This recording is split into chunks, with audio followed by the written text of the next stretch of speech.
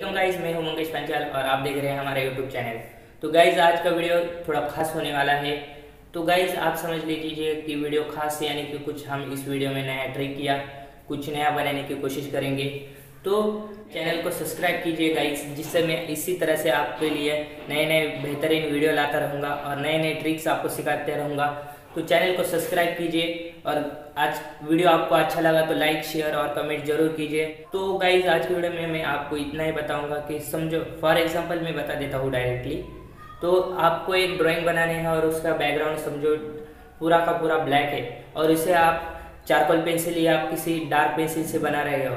उसमें आपको दिक्कत ज़रूर आएँगे। किसी जगह आपको थोड़ा कम नज़र आएगा, किसी जगह डार्क हो जाएगा।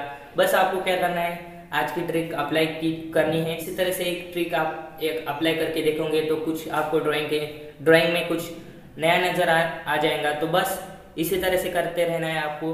तो मैं वीडियो को अभी स्टार्ट करता हूँ।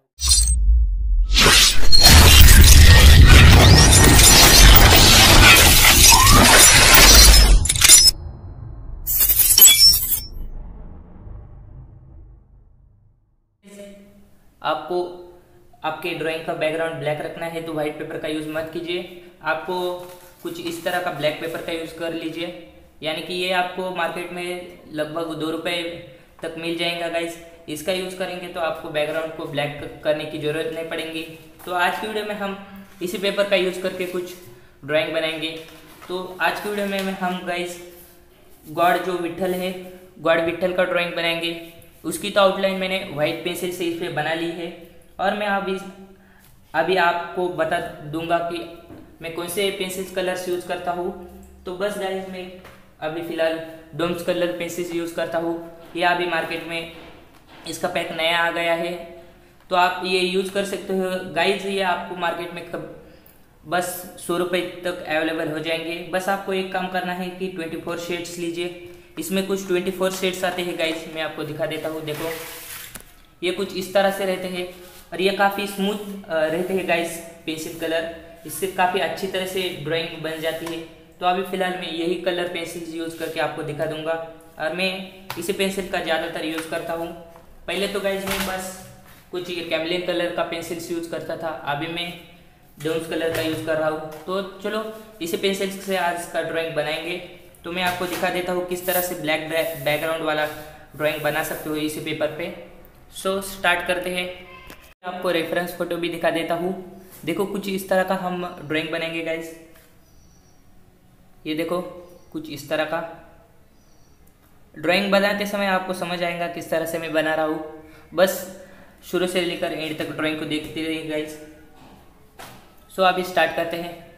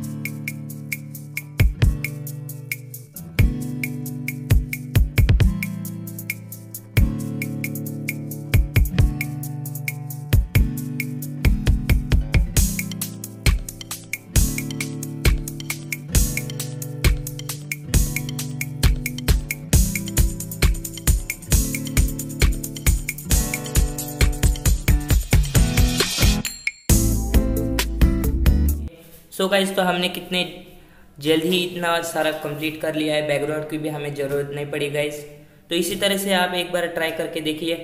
और डोम्स कलर पेंसिल बिल्कुल यूज़ करिए। देखा आपने किसने अच्छी तरह से ये अभी हो चुका है। तो चलो गाइज़ मैं इसी तरह से आपके लिए नए नए वीडियोज़ लाता रहूँगा।